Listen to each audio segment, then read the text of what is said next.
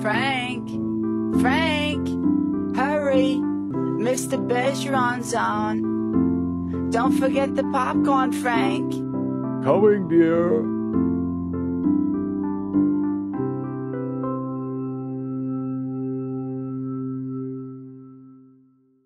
So, so if I if I am that patient and I want to appeal, I, I can do it with a phone call, mm -hmm. right? Yes. And but you've just described what sounds like it's going to be on a piece of paper. It's going to be this, this kind of explanation describing the kind of care that I need. So how will, how does that play? When, when do I call and then the people I call tell me send everything in to such and such an address? And, and can you give us a sense of what the timelines are and stuff like that? You, you Yeah. do have the opportunity to submit written materials. Yeah. Although the provider has to give the records to the um, Mass Pro in Massachusetts case or Qualidigm in Connecticut. I see. So the records have to come from the provider. The provider has to send them in for you. What the patient can do for themselves is get talk to the doctor and get the doctor on your side. The doctor needs to prescribe the skilled services and uh, needs to explain, you know, why you need them. And, and lots of times, what'll happen is uh, a home health agency will call the doctor and say, the person, this patient's not going to improve. Medicare's not going to pay for it, so discharge them from home health. And what the patient or their family, whoever their advocate needs to do, is to, to call the doctor and say, look, my mom had a stroke. She's just starting, getting started with therapy. Maybe she had an infection and it kind of shut, slowed her down for a few days. But you needed to get the doctor to make sure that he keeps those orders in place.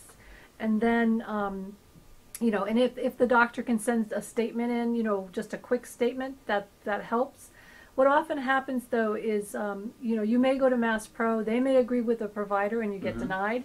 And that should, you should get an answer within seventy-two hours. So from the time that you call, they'll Yes. typically turn that answer around Very quickly. quickly. I see.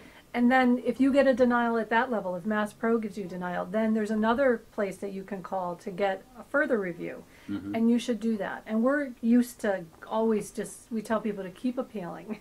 Right. Um, and especially at the second level, again, resubmit, you know, your doctor statements. You get, you know, you'll have a few more days to kind of gather everything up. I find that, you know, when I'm talking, to, helping a client, um, often if I call the doctor's office and get that nurse who is the doctor's right hand person who knows what's going on, that person can help you craft, you know, the, the right, you know, letter or language. They can put it in front of the doctor to sign, and then you can uh, submit it to the, for the appeal. But you don't even have to submit anything to the appeal. The, the family can submit something to the appeal. I often tell people, you know, if your goal is to either stay at home or to leave the nursing home and get back home, let people know what your goals are.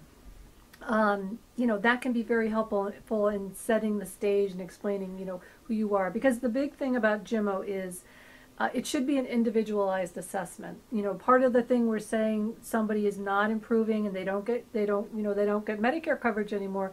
That's a rule of thumb, and Medicare and healthcare isn't based on rule, rules of thumb.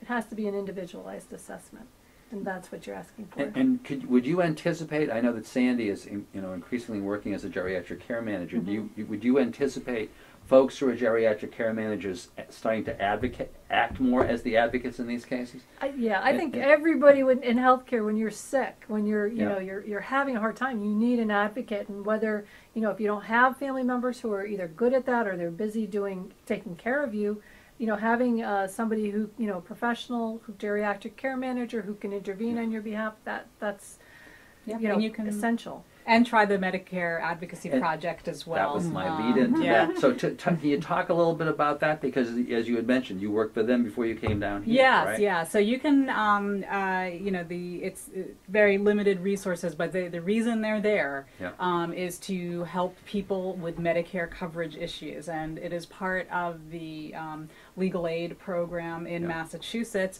Um, so the services they provide are free. They can't take every case, as I mentioned. This the, their resources are limited, but you can certainly call and see if they might be able to represent you. Their central um, office is their Boston office at Greater Boston Legal Services. Um, You can call Greater Boston Legal Services, tell them you have a Medicare issue, and you should get screened through the Medicare advocacy um, program, and then that would be referred to whichever office in the state handles your area.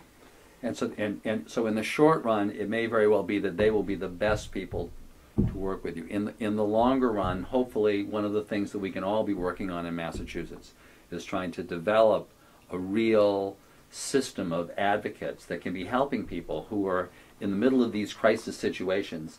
And that's not what they understand how to do. They just know that they've got a real issue to really help people to be able to deal with this. And I think, um, I think we all owe a tremendous debt to the Center of Medicare, for, Center for Medicare Advocacy for what has just happened. It is about to be, as I had mentioned, this could be huge, huge, huge, right? For a lot of my clients with Alzheimer's, for people with MS, for a whole bunch of people, for folks with mm-hmm. Parkinson's, people we're dealing with all the time. So you need to know about this.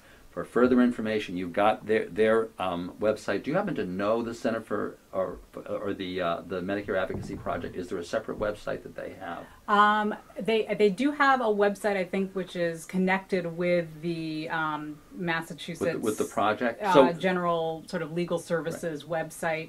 Um, so we'll, so we'll get that. We'll we'll make sure that on this program there's a banner at the end. There will be a banner at the end of this program that will give you that information for for like who to contact. This is really really important. Thank you so much for taking the time to talk to us today. I really appreciate it. Thank you all, and uh, uh, we'll see you again soon.